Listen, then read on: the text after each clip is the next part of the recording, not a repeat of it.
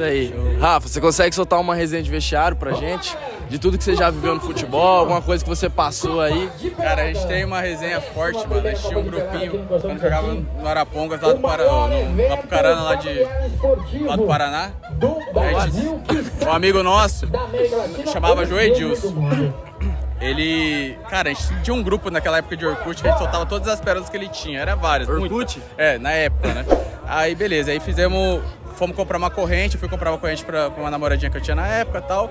Aí foi lá com ele falou: Rafa, posso ir lá com você? Eu falei: pode, pô, vamos lá, vamos lá, vamos lá. Aí chegamos lá na loja, eu falei: Jô, seguinte, você vai comprar? Eu falei: mano, preciso de um, de um colar pra mim. Aí eu falei, cara, uma, um pingente pra mim, que já tinha um colarzinho. Ele falou, mano, precisa de um pingente pra mim. Eu falei, não, beleza, vamos lá, o que, que você quer? Ele falou, mano, com a minha letra do meu nome. Eu falei, mano, escolhe aí. Daí ele falou, mano, falou pra mulher, né? Posso pegar uma. Posso pegar um pingente com a letra G? Ué? Aí eu falei, G, mano. E, cara, ele não tinha nem a quarta série, aquele, aquele menino, um amigo nosso. Ele falou, posso pegar aquela letra G?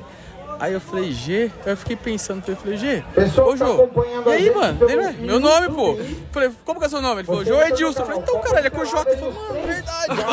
é com J. Aí ele foi e trocou lá na hora, mano, tinha muita pérola dele, mano.